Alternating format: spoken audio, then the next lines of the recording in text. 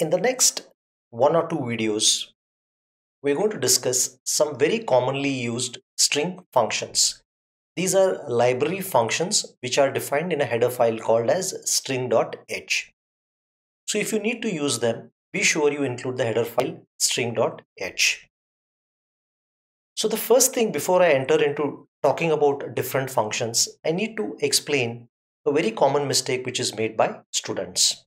So suppose I define name1 as an array of characters with the initial value GEU. So name1 is GEU. The array can start at say memory location 100, E at 101 and U at 102.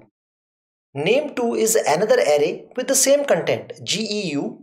Let us say name2 starts at 200, 201 and 202. Now if it was normal numbers I could say is x equal to y. But if I try to do something like this if I say name2 this should be name1 not name2 if name2 sorry if name1 is equal to name2 then I can say print names are same. Although the names are same I if I do something like this what will happen is if you remember the name of array is an address. So name1 will be replaced by say 100 name2 will be replaced by 200 now these two addresses are different. So it will print the message names are different so you cannot compare an array simply by taking their name. Okay, there is a different way of comparing characters. So you have to go and compare character by character or you got to use a library function called strcmp which is there part of the string.h. So let's take a look at the different library functions we're going to discuss over the next few sessions, next couple of sessions. This stands for string length. So how many characters are there in this? 3. So string length will give you 3. This as the name indicates is going to copy the content of one array of characters to the other. String concatenate. Suppose I have ABC as one string and XYZ as the other one. If I concatenate it will be A, B, C, X, Y and Z. So this is going to form the concatenated or the joined or the merged string. Strcmp as the name stands, it indicates for comparing two strings. So using strcmp, I can compare name1 and name2 and then it will say both are equal. Before we proceed to take a look at string length and string copy, you need to understand that in C, arrays are treated as addresses.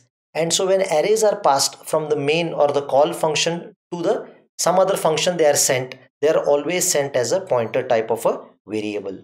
So let's first take a look at the library function to copy one string to the other. Alright. So let us say in my first array, I got the name I got the data as name1 GEU. Second one array I've got name2 space Doon. So if I do string copy name1 comma name2 so the contents of name2 are going to be copied into name1. So what is going to happen to name1? Name1 is going to become space Doon. So the GEU is lost and Doon gets overwritten into name1. So this you can consider as the source, this as the destination or the target. The copy happens from name2 to name1. So in place of name2, I can also have something called as rocks enter. Okay. So what will happen here is when I do string copy, this rocks and enter key is going to get copied into name1. So this rocks and enter key gets copied into name1. Then if you want to take a look at the prototype of the string copy function, this is how the string copy looks like. The first parameter happens to be a pointer type of a data or a pointer to a character. Here if you see name1 happens to be a address and since it's a fixed address that's why it is a pointer to a character type of data. Now since I am going to change name1, I'm going to change this s1. This is not a constant whereas the second fellow this name2 is defined as a pointer to a character type of data but you cannot change this contents of name2 because name2 is a read-only array. You want name2 to be copied into name1. So using this particular function, the contents of name2 or string2 in this case are copied over into string1 and the address of string1 is uh, returned by this particular string copy. So if I copy GEU, sorry, if I copy Doon from name2 to name1 what will happen is the address of name1 is going to be the return type of this particular function string copy. Now let's take a look at another commonly used function called as string length to find the length of a string. I have defined an array of characters called as name with the initial value gehu.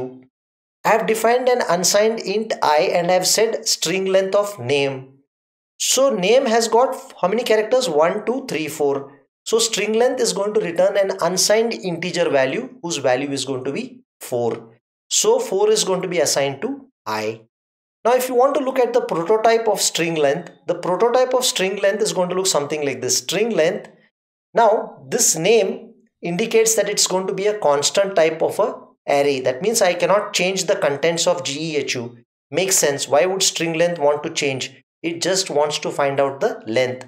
This constant char indicates that I cannot change any of these alphabets G, E, H, U.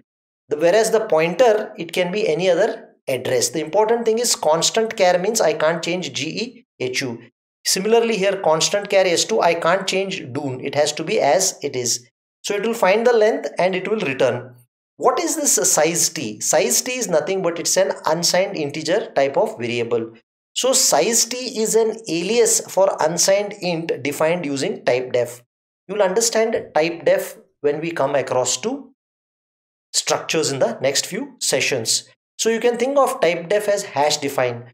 So wherever there is unsigned int i that is replaced with size t. It is like somebody your name could be Rahul, it could also be Bablu and so on. So Bablu and Rahul both are your names. So size t is kind of a Bablu here. Instead of having here unsigned int i size t is representing unsigned int i so this size t you can assume has been created using the hash define or type def so the length of the string is determined by this string length function